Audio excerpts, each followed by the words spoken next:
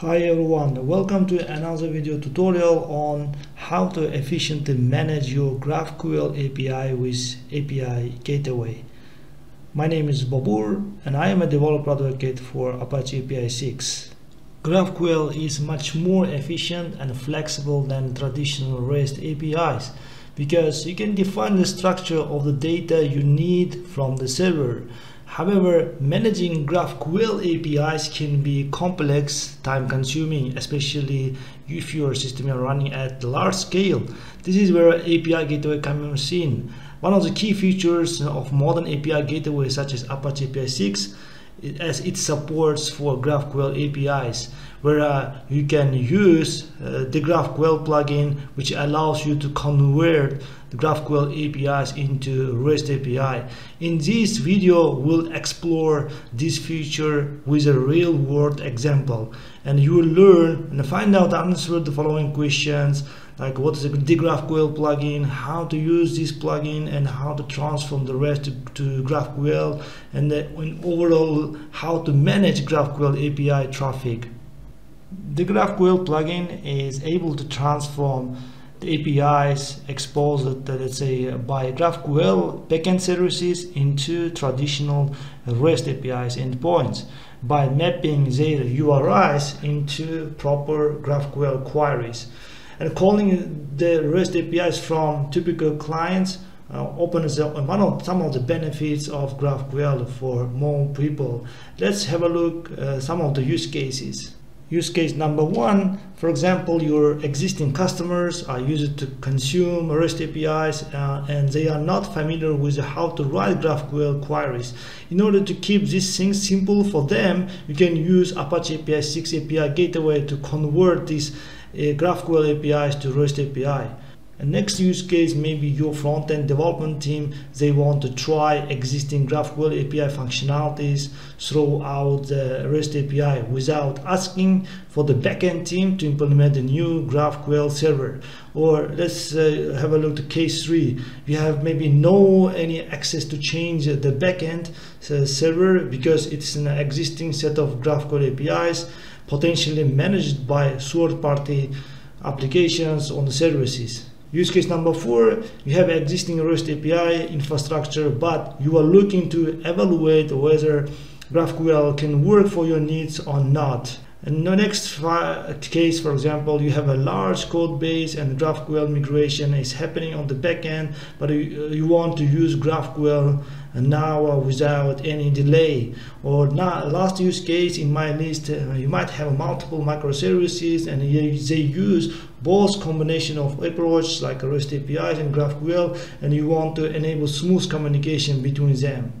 DeGraphQL plugin provides a number of useful features that make it easy to configure and manage your GraphQL APIs, including request validation.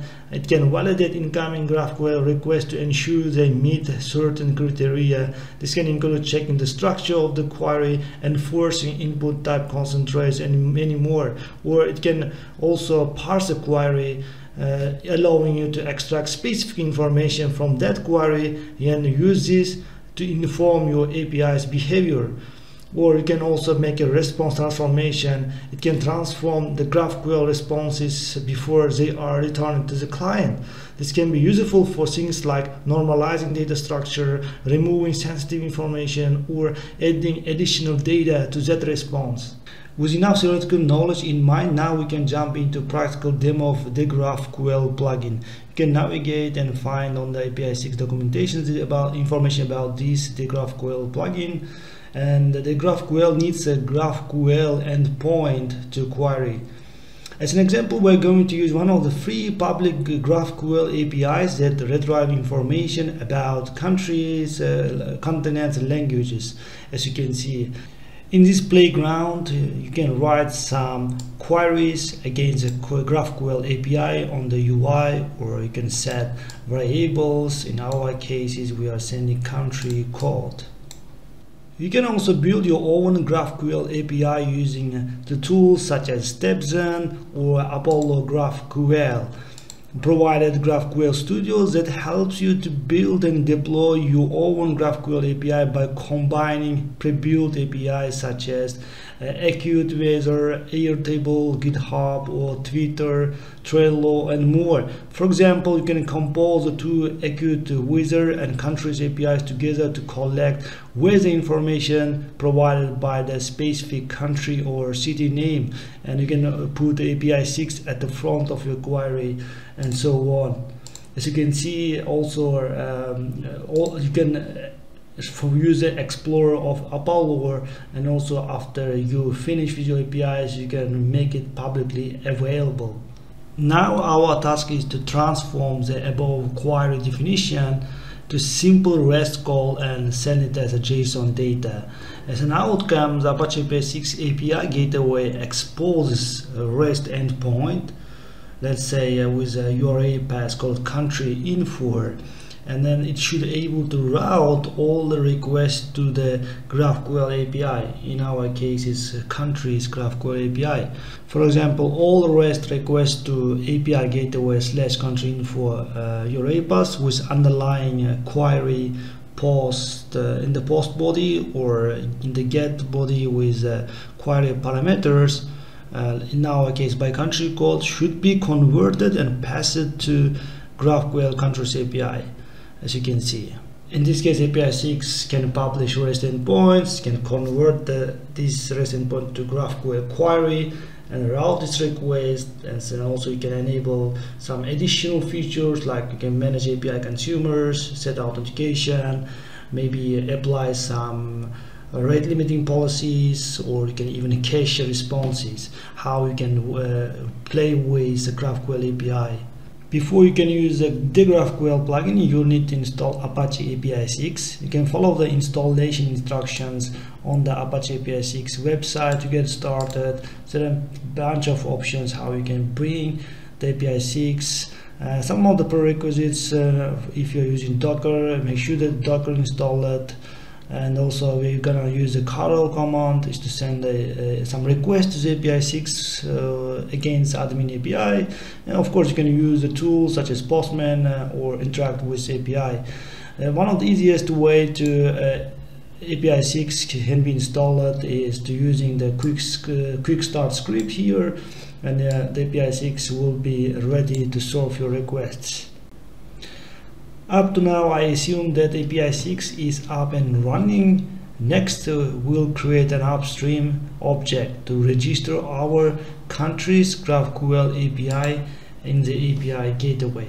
To do so, I will run following curl command by accessing the API gateway admin API and we are showing on the node, as you can see with single node, we are specifying our upstream service as a countries GraphQL API, and we are using scheme type of HTTPS to securely uh, establish a connection with countries GraphQL API and we're providing name and description and so on. Once you run this uh, curl command APISIX response okay now we have created our first upstream in the next step, we set up a new plugin config object. We'll use two transformation plugins called uh, proxy rewrite and degraphql respectively to uh, uh, first rewrite the uh, host and URI of the request and make a query to GraphQL API as you can see with the following query and we are also passing the variables. You just uh, copy this uh, command and put it in the terminal and press enter and everything goes well. APISIX response with 200 uh, HTTP response code. Next final step involves setting up the new route that uses the plugin configuration and uh, also the upstream uh, configuration with their uh, IDs we created in the previous steps and we just provide uh, our custom URI country info. And we're giving for this route a name and description. Just uh, run this curl command and uh, now you will see APISIX response also okay. And it's now time to test if our requests are actually uh, forwarding to the GraphQL API.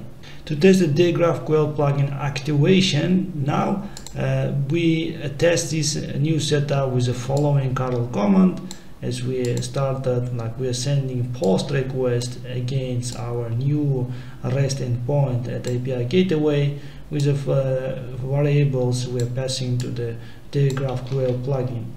And if you just uh, copy this command and pass into the terminal and run this command as you can see we got a response actually from country's GraphQL API now everything is working as we expected and we get a, a country's uh, response.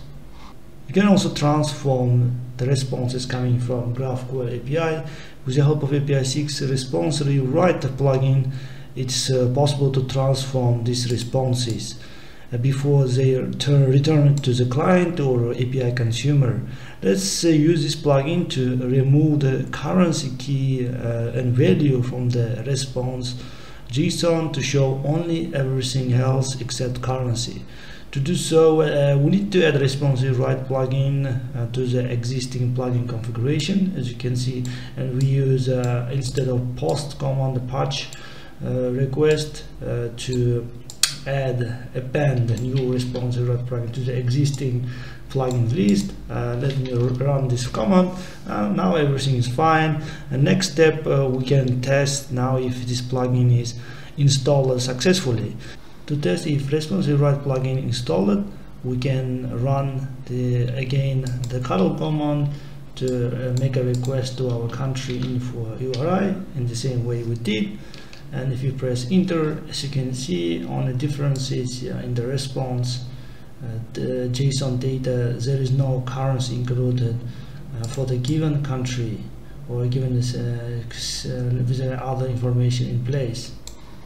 Overall, the GraphQL plugin is essential tool for any developer building a GraphQL API with APISIX API gateway. Its powerful features, it is uh, user, easy to use a configuration, make it uh, easy to integrate into your existing API gateway, while it supports for GraphQL specific functionalities to ensure that your APIs is uh, performant, reliable and scalable. Thank you for watching. If you want to learn more about Apache APISIX, please subscribe to our channel, click on the bell to receive notifications about new videos.